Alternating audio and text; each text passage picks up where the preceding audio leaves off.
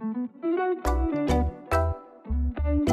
week-end passé, nous avons passé le week-end à Kwilumbongo. J'avais entendu parler depuis très longtemps de l'endroit, mais j'avais encore jamais eu l'occasion de le visiter. On a pu y aller en train. Donc le train, c'est quelque chose, c'est un service qui a été réouvert il n'y a pas si longtemps. On a dû se rendre à la gare aux alentours de 7h du matin. On a acheté des billets de première classe qui sont au final pas si chers. Ça nous a coûté euh, à peu près 20 000 francs congolais. Et on est arrivé à la gare, on a acheté des billets.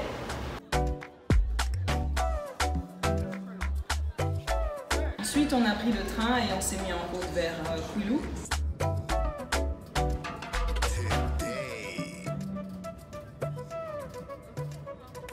Donc, comme, comme il était 7h30 du matin, la plupart de nous n'avaient pas pris leur petit déjeuner, mais il y a le petit déjeuner qui est compris en fait dans le billet euh, première classe. Petit déj dans le train, direction Quilou. Pour ceux qui s'ennuient dans le train, ils ont l'opportunité, ils ont la possibilité d'aller euh, au wagon bar. Donc c'est un vrai bar, c'est presque comme une des terrasses qu'on peut trouver euh, à Bandal. C'est bien, c'est intéressant aussi. Il y a quelques haltes jusqu'à Kwilu. On s'arrête à Kisantu notamment. Donc c'est pas mal de voir aussi les différentes petites gares qui sont entre, euh, entre Kinshasa et Kwilu.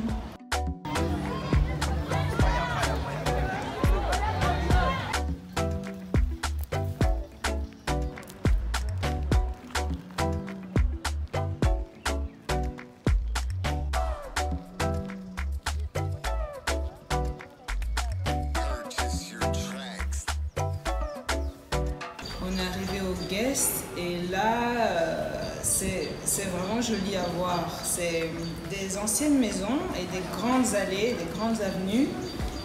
Et moi, ce qui m'a frappé dès que je suis arrivée là-bas, c'est l'odeur. On sent vraiment l'odeur de, de sucre de canne.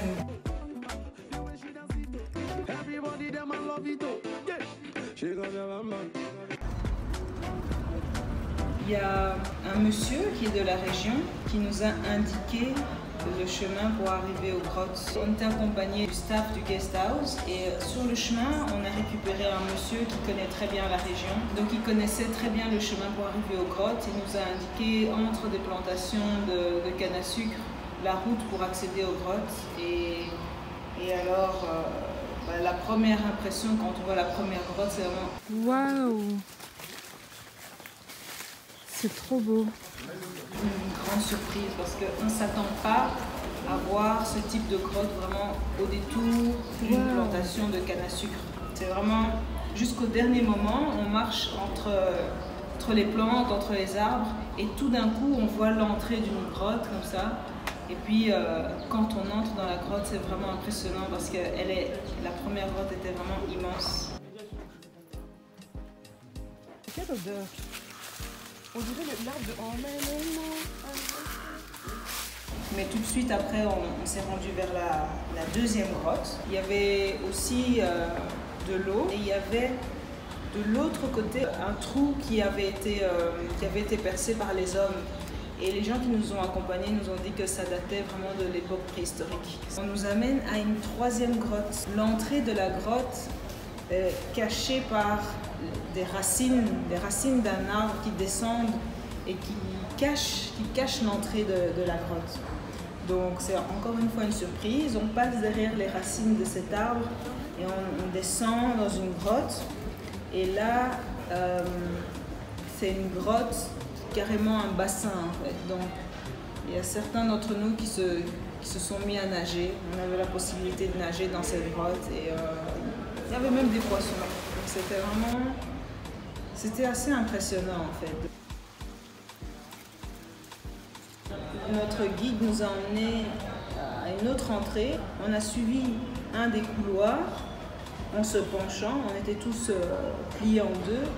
Et arrivé au bout, et il y avait aussi une superbe vue sur euh, un espèce d'étang, une espèce d'étang qui était là, et sur la nature et les plantations la végétation qu'il y avait euh, autour de, de cette grotte.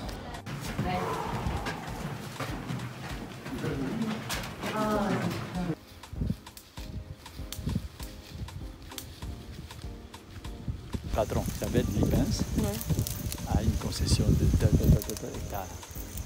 Voilà. Toute la concession, ça c'est parmi les sites, le point Culminant. culminant de, de- des sites. Et finalement, il s'est dit, il a aménagé, quand il, quand il est sur place, il vient prendre de l'air ici.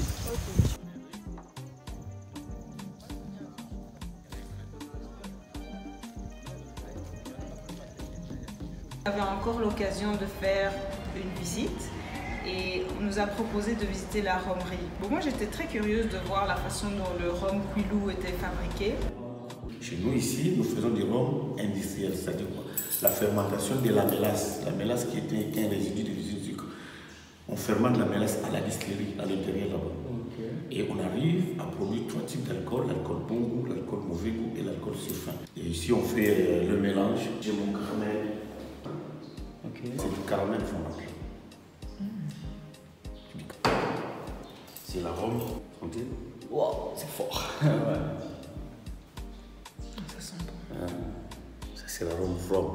c'est une petite unité de fabrication où il nous a expliqué la façon dont il euh, nettoyait les bouteilles. Pour un cube par jour, il avait une production de 1600 bouteilles.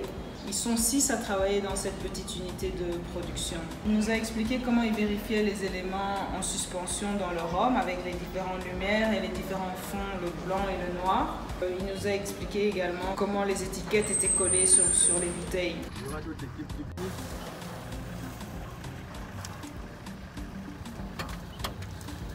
Après avoir visité la romerie, on est allé visiter la sucrière. Comparé à la romerie qui est une petite unité, la sucrière c'est une usine immense, immense, immense, immense. On entre, on est entré par un côté de, l'usine et on voit ces machines gigantesques qui, euh, qui transforment ces cannes à sucre en, en sucre au final.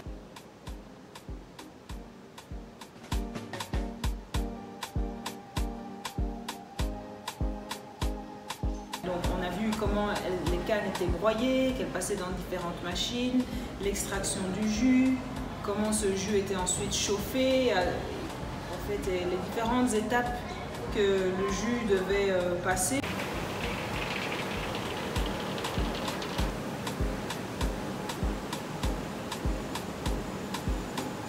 pour finalement être cristallisé et transformé en, en sucre, quoi. Le produit vraiment fini, le produit qu'on peut consommer. Et euh, c'était vraiment impressionnant de voir la taille de cette usine. C'est immense, immense, immense. On a même pu dé- déguster un petit peu de, de sucre là, cristallisé, et euh, bah, c'est vraiment impressionnant. Toulouse, c'est fantastique, hein. c'est vraiment super beau, super paisible, tranquille. Et puis les visites étaient vraiment bien. Moi, j'y retournerai d'office, c'est certain. J'ai tout aimé, que ce soit le train, que ce soit l'arrivée, acheter des fruits euh, sur place. Euh, les grottes, c'était vraiment magnifique et je recommande à tout le monde. C'était vraiment... Turquoise